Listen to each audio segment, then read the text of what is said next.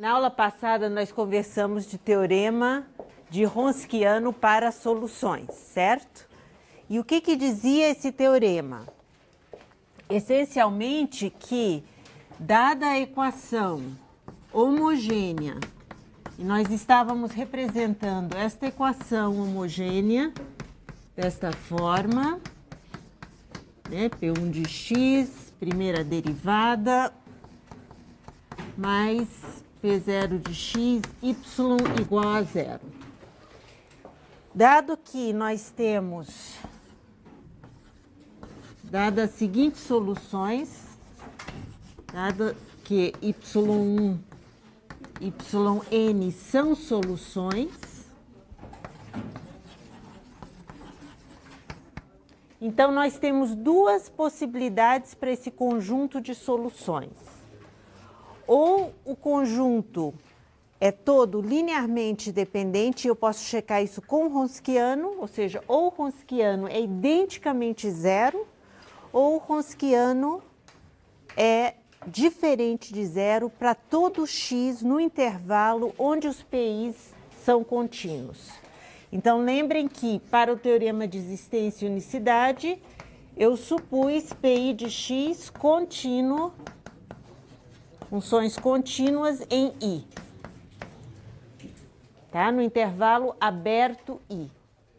Então, o que, que eu tenho? Dado que y1 e yn são soluções, duas possibilidades. O Ronskiano, se y1 e yn são linearmente dependentes, então o que, que eu sei? Que o Ronskiano dessas soluções é identicamente zero para todo x em i.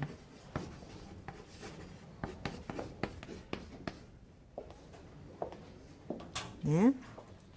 Então, eu tenho isso daí. Vejam que, na realidade, esse fato é, vale para qualquer conjunto de funções. Né? Esse primeiro fato aí. E vejam, se eu tenho qualquer conjunto, se F1, Fn são funções linearmente dependentes, significa o quê? O que, que é a definição de ser linearmente dependente? Isso implica que eu posso escrever uma combinação linear dessas funções igualar a zero tá? Sem todos os CI serem nulos. Ou seja, com CI não todos nulos. Para todo x em I. Então, isso nós vimos na aula passada.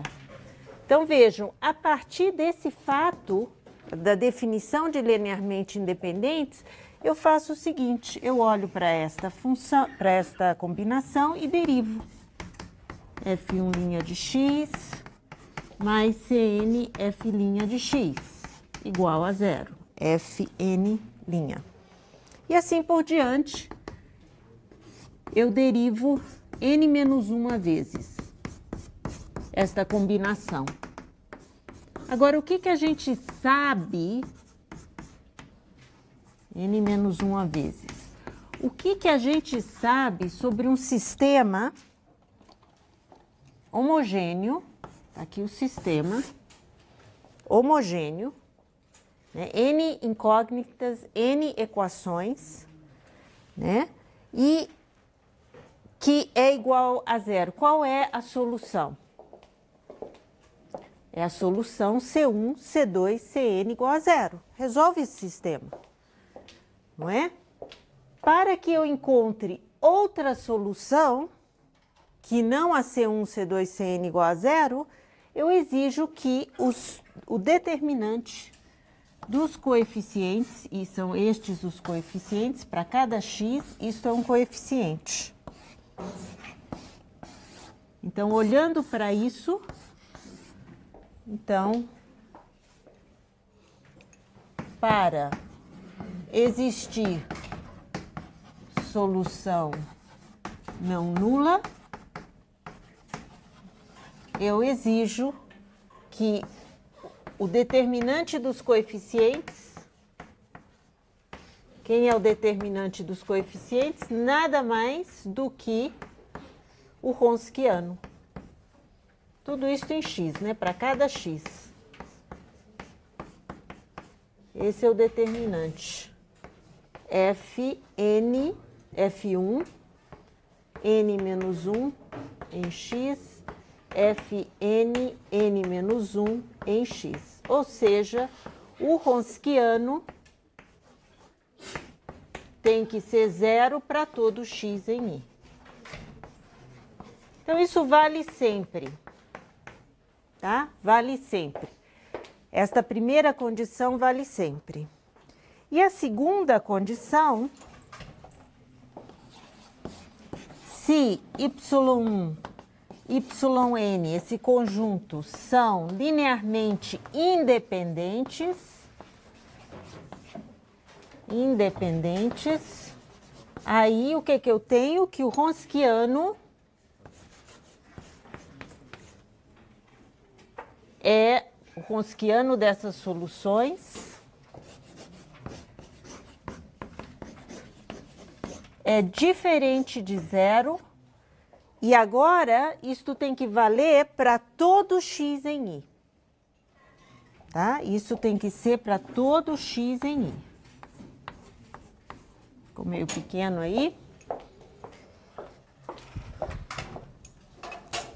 E vejam, isso é necessário por quê? Porque me interessa encontrar essas N soluções linearmente independentes que compõem a solução geral da homogênea. Então, essa segunda, vejam, vamos supor, então, para justificar essa segunda, vamos supor que em algum ponto, que para algum ponto a em I, para algum A em I, o ronskiano seja zero. Suponha tá? que o ronskiano seja zero para algum A em I. Bom, então o que, que eu sei? Eu vou mostrar, eu estou supondo que as soluções são linearmente independentes. Se eu tiver que o ronskiano em algum ponto é igual a zero, eu vou chegar numa contradição. Ou seja, eu vou acabar provando que elas são linearmente dependentes. Né? Então, o que significa o Ronskiano?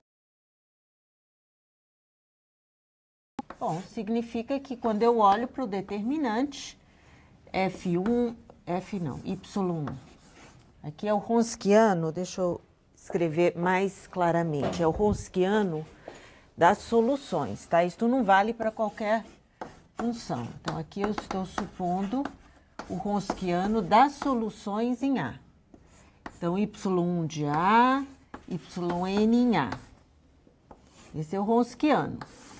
E as derivadas até n menos 1 em A. Então, este determinante em A é zero. Tá certo? Esse determinante é zero. Bom, aí eu verifico o seguinte: então, eu estou supondo que eu tenho que esse determinante é igual a zero. Portanto, eu estou começando com um problema onde y1, yn é, são soluções linearmente independentes do problema é, da equação estrela. Estrela é a nossa equação homogênea aqui. Tá? Bom, essa equação tem os coeficientes, é, os coeficientes contínuos. Então, este conjunto forma uma solução para aquela equação. Então, a minha solução é C1 Y1 mais CNYN, ok? E se eu tenho os dados, é, suponha que eu tenho os dados, eu queira resolver esta equação para y de A igual a y' de A igual a enésima menos uma derivada em A igual a zero. O que, que eu sei pelo teorema de existência e unicidade? Que existe uma tal solução em A porque A está em I, com A no intervalo. Então, existe solução para este sistema, está aqui, ou seja, eu encontro C1, Cn que satisfazem o problema de valor inicial de ordem n. Existe uma solução. Pois bem, vamos chamar essa solução específica de C1 barra é, Y1 mais C2 barra CN barra YN. E essa solução satisfaz os dados iniciais. Então, aqui eu sei que existe solução única. Primeira derivada e enésima menos uma derivada. Ok? Muito bem, então eu tenho essa solução que satisfaz o problema. E agora Vejam, se esta solução satisfaz o problema, significa que eu estou com o seguinte sistema sendo resolvido. O C1 barra Y de A mais CN barra Y de A é, não, eu quero escrever, desculpa, eu quero escrever isso com os Y pequenos. Então, o que que significa, vamos escrever aqui, Y de A ser igual a zero? Significa que C1 barra Y1 em A, tudo em A, mais Cn barra YN em A é igual a zero. O que, que significa y' de A ser igual a zero? São os dados iniciais. Significa C1 barra y' de A mais Cn barra yn primeira derivada em A igual a zero. E assim por diante até a última condição inicial, que é esta daqui, igual a zero, que significa C1 barra yn menos 1 de A até Cn, Yn, N menos 1 de A. Igual a zero. Tá certo? Bom, mas eu sei que esse Ronskiano é igual, ou seja, os coeficientes desse sistema é igual a zero. Foi isso que eu supus tá? que o coeficiente, o Ronskiano é igual a zero. Bom, se o Ronskiano é igual a zero, o que, que eu estou querendo, onde que eu estou querendo chegar? Eu estou querendo chegar que a minha solução, se eu defino a minha função, como eu defini a minha função, como sendo cy1 de x, a minha solução, mais cn yn de x, com os dados iniciais,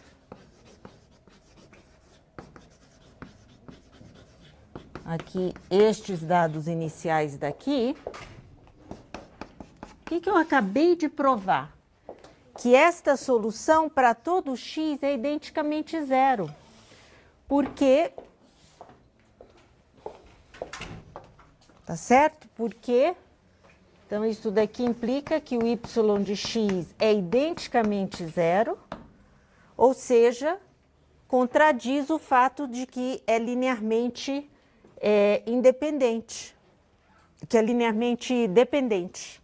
Né? Então, eu chego ao fato de que eu tenho uma solução que eu consigo zerar, porque o y de x identicamente zero é solução e, portanto, eu tenho que a coleção Y YN é linearmente dependente. Isso contradiz o fato que eu comece com um conjunto linearmente independente. Ou seja, o Ronskiano ser zero me diz que este sistema tem mais de uma solução, ou seja, y de x identicamente zero pode ser zero, isso daqui pode ser zero, com uma escolha não nula de coeficientes, dizendo que a combinação é linearmente dependente, mas eu comecei supondo que são independentes. Então, é uma prova por contradição. Tá certo? Então, vejam, resumindo, Ronskiano zero, linearmente dependente. Rosquiano diferente de zero para todo x em i. Nenhum pontinho pode ser zero. Todos os pontos têm que ser diferentes de zero para garantir independência linear. E nós vimos vários exemplos na aula passada. Tá? Outra forma de ver esta mesma coisa é, sobre o Ronskiano ser diferente de zero é a fórmula de Abel. A fórmula de Abel, eu vou colocar aqui para a nossa equação estrela. Então, para a equação estrela, logo aí acima, ah, então, para esta equação, a fórmula de Abel me diz o seguinte, que o Ronskiano pode ser escrito para um, é, um problema de valor inicial em x0 da seguinte forma. E elevado a essa integral, e esta é a fórmula geral, menos, aqui é onde entra o é, menos Pn menos 1 de S ds. Esta, nós vamos provar esta fórmula no caso é, de uma equação de ordem 2. E, e, vendo em ordem 2, a gente já vê como que o argumento é, se estende. O que, que isto me diz? Olhem para esta fórmula. O que, que eu acabei de dizer, né? Que o Ronskiano, eu tenho duas possibilidades aqui. Ou essa minha constante inicial é zero, e o Ronskiano, portanto, é zero para todo x, ou o Ronskiano nunca é zero para x em i, porque a exponencial se, nunca se anula. Ela é sempre diferente de zero. Então, é uma forma de ver que o Ronskiano é diferente de zero quando eu tenho as minhas soluções linearmente independentes. Então, vamos checar isto no caso da equação de segunda ordem. Então, aqui eu tenho P1 de x, y1, mais P0 de x, y igual a zero.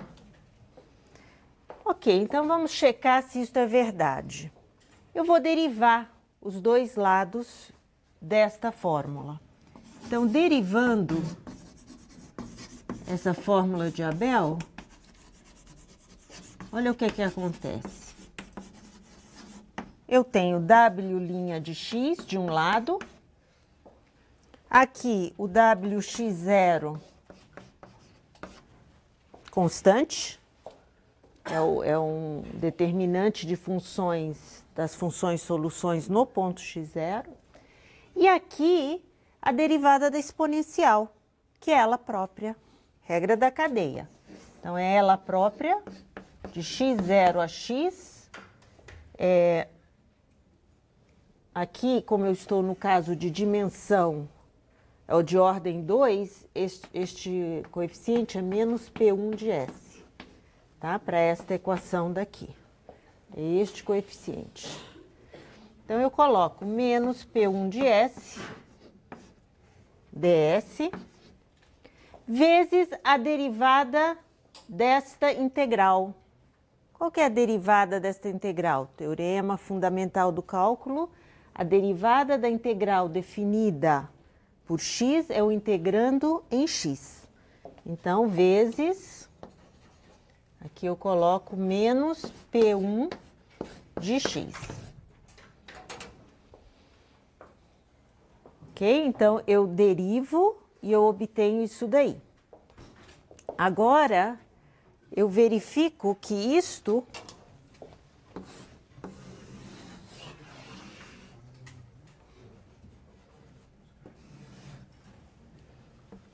Quem que é isto daqui? Isto daqui nada mais é do que W. Então, aqui é o W de X. Então, eu cheguei numa equação, olha que interessante, numa equação que é a seguinte equação, W linha de X é igual a menos P1 de X, W de X.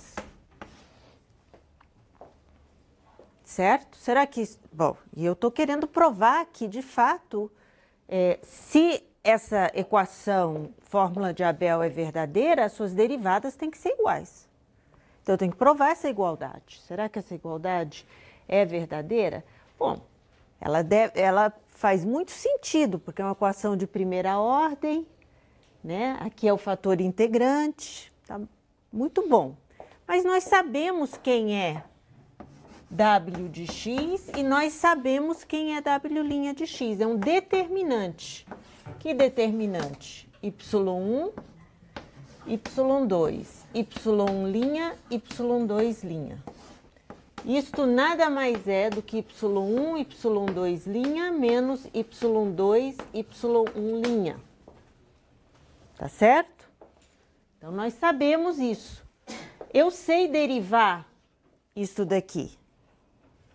Na realidade, para o caso geral, o que a gente usa é o fato sobre a derivada de determinantes.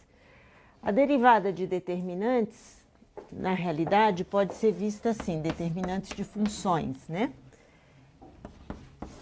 É derivar, é a soma da derivada de, é a soma de determinantes, onde em cada determinante estou derivando uma linha. Então, por exemplo, eu derivo a primeira linha.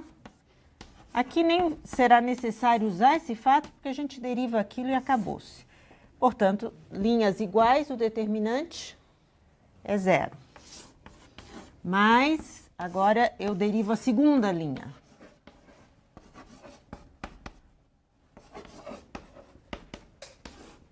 E, portanto, isso daqui é y1 y2, duas linhas, menos y2, y1, duas linhas.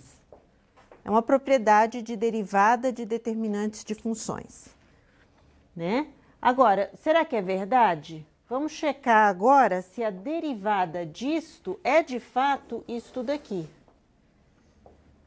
Então, só por curiosidade, vamos fazer o ddx do Ronskiano ou seja, é o ddx daquela diferença. y1, y2 linha, menos y1 linha, y2. Vamos derivar isso pela regra do produto, eu obtenho quatro termos. Então, dois para cá e dois para cá. Então, eu tenho y1 linha, y2 linha menos y1 duas linhas, y2. Então, a derivada deste termo, pela regra do produto, é esse. Agora, menos a derivada aqui, y1 duas linhas, y2, mais... Oi? Ah... Regra do produto. Nota 10, obviamente. Isso mesmo. Obrigada. Isso. Regra do produto aqui, soma. Agora, subtrai. Regra do produto aqui, Y1, duas linhas, Y2, mais Y1 linha, Y2 linha. Este cancela com este. Opa. Y linha. aqui, y' vezes y2' mais y1. É, exatamente, exatamente. É a segunda derivada desse vezes esse. E aqui? Aqui nós temos a segunda derivada desse, ou seja, a derivada deste vezes esse, mais a derivada do y2 vezes o y'. Este termo Tá com sinal menos, cancela com esse. E o que que sobra? Sobra y1, y2 duas linhas, menos y1 duas linhas, y2, que nada mais é do que isso daqui. Tá certo? Então, no caso geral, vocês usam essa propriedade de determinantes para ficar mais fácil. Aqui nem precisa, na realidade. A gente só deriva aqui e observa isso ali. Muito bem. Agora eu volto na equação e substituo o que, o que eu acabei de encontrar para o Ronskiano. Tá? Então, quando eu substituo nessa fórmula o que eu acabei de achar, quem é o W'? Então, vamos escrever. W' é Y1, Y2, duas linhas, menos Y1, duas linhas, y2. Isso é igual a quem? A, P, a menos P1 de x que multiplica o W, e o W está aqui em cima. y1, y2 linha, menos y1 linha, y2. E a minha pergunta é, será que essas duas coisas são iguais? Eu tenho que checar que são iguais.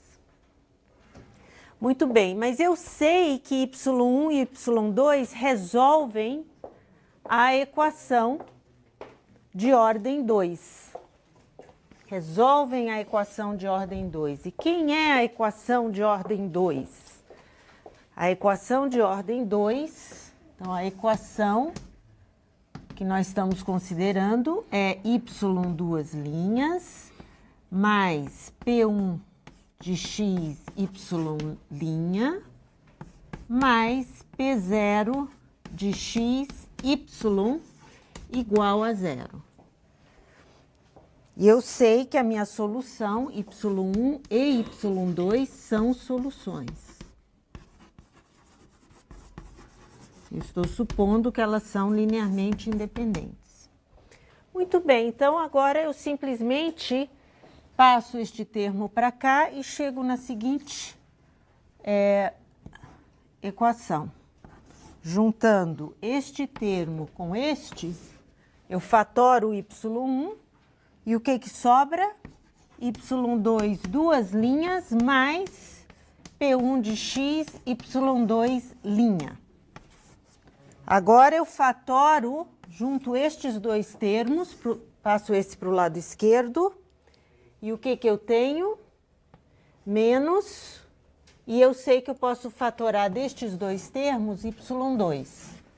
Então, eu fatoro y2 e eu tenho y1 duas linhas, menos com menos mais, passo para cá é menos, então esse menos é distribuído aí. E aí eu tenho P1 de x é Y1 linha. E quem que é isso daqui, hein?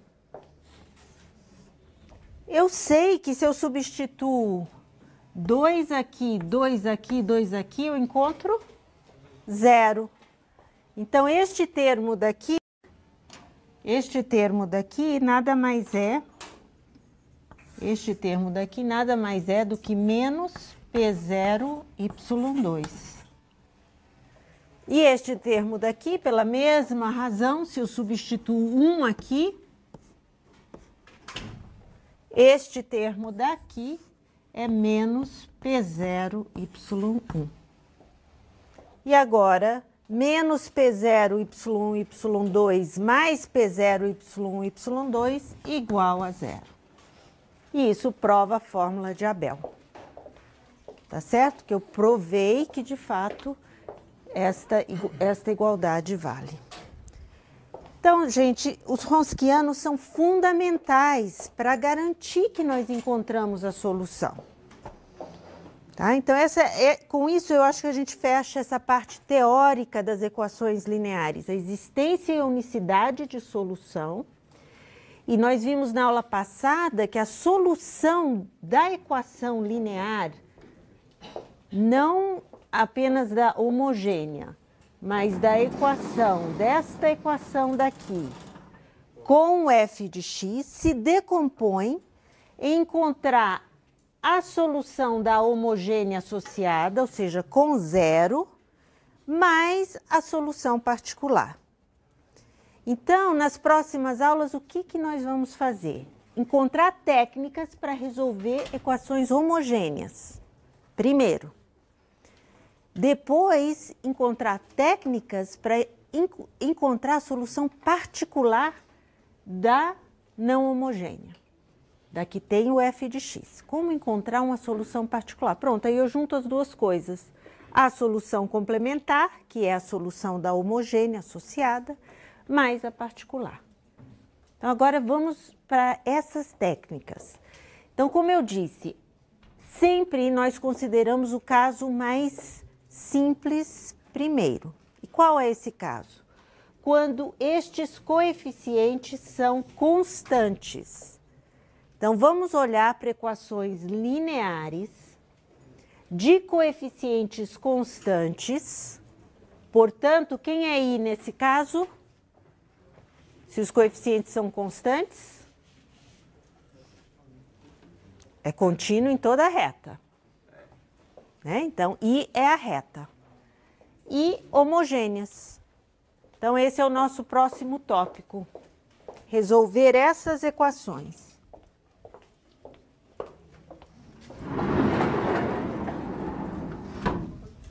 Então, equações lineares homogêneas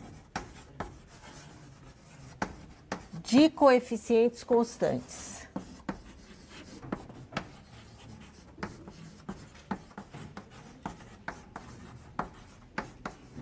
Então, a nossa equação estrela vira a seguinte equação yn, mas agora é um número, não mais uma função, um número, uma constante. yn menos 1 mais a1 primeira derivada mais a0 y igual a zero. Vejam, eu imaginem uma função que eu tenho que derivar n vezes, somar com a sua derivada n menos 1 vezes, e assim por diante, simplesmente olhando para constantes e conseguir um zero no final. Exponencial. Eu tenho que ter um jeito de zerar. Então, a candidata à solução é uma exponencial. Vamos ver, toda vez que eu tenho uma candidata à solução, o que nós temos que fazer é derivar e substituir dentro da equação. Tá certo? Por que, que a exponencial é interessante? Vejam a propriedade de derivada da exponencial. Se eu derivo, eu obtenho a mesma função de volta. Mas pela regra da cadeia, aparece um fator R. Ok? Deriva novamente R2. Deriva N vezes. Quantos fatores R aparecem? N.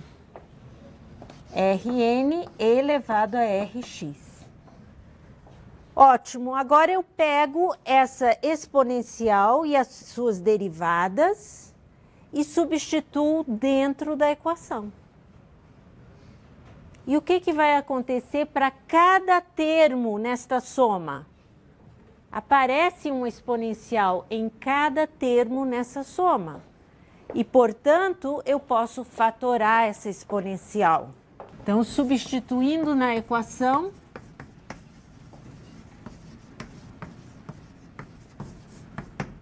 o que, que a gente tem?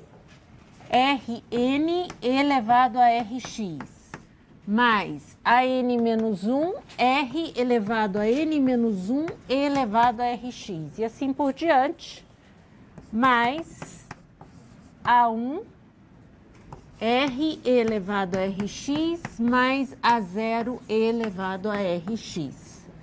E tudo isso é zero, eu substituí dentro da equação.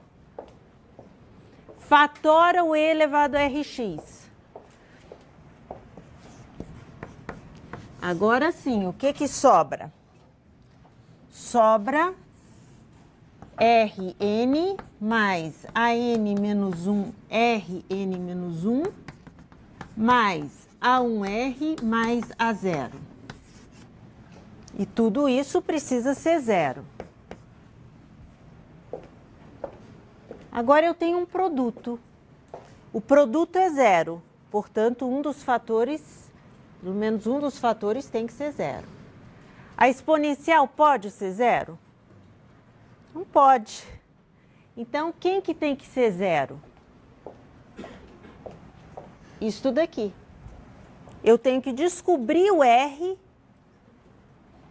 que, ou os R's, que zeram este polinômio de grau n. Então, como isto é sempre diferente de zero, quem tem que ser zero é este polinômio de grau n, que é chamado, este polinômio é chamado equação característica. Tá? Então, também é conhecido como a equação característica.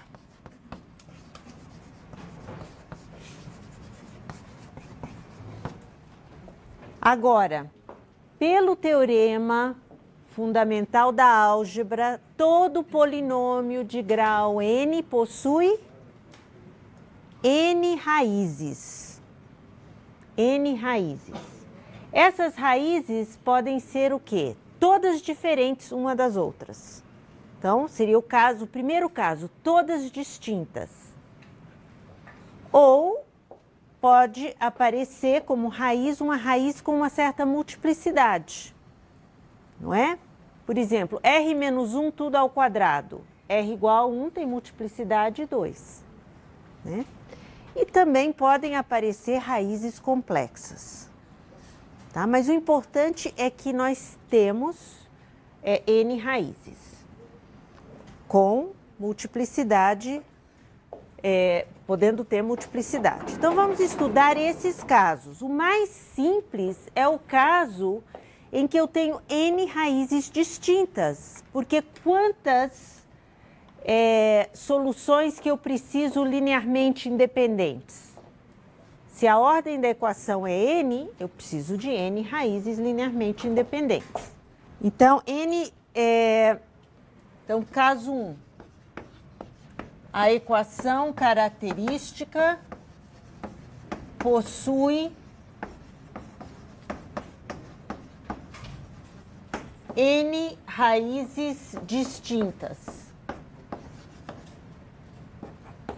e reais tá? Caso 1 e reais. Eu não quero complexas no meio, tá? Então, quem que é a minha solução? Y de x, se essas raízes são R1, Rn, elevado a R1x, constante arbitrária, mais C2, a segunda raiz, mais Cn, Rnx. Exemplos.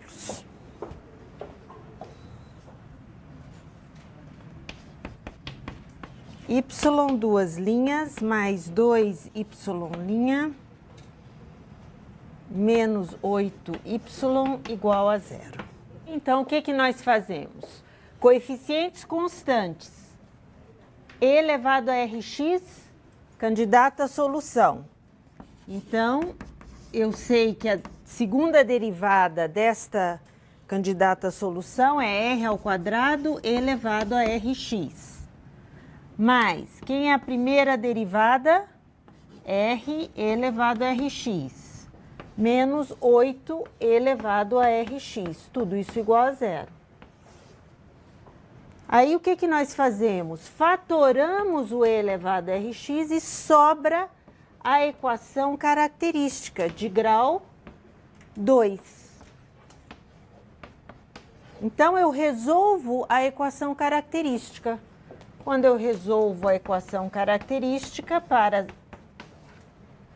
encontrar estas raízes, eu tenho que as raízes são menos 2, mais ou menos 4, menos 4AC, mais 32 sobre 2. Portanto, isso daqui é 6. Eu tenho que as minhas raízes são menos 1, mais ou menos 3. Então, R1 igual a menos 4 e R2 igual a 2. Então, a solução, eu preciso de duas soluções linearmente independentes. Uma será elevado a menos 4x e a outra elevado a 2x. Então, nós temos aqui que a nossa solução para esse exemplo C1 elevado a menos 4x mais C2 elevado a 2x. Que é fácil ver que são linearmente independentes, né?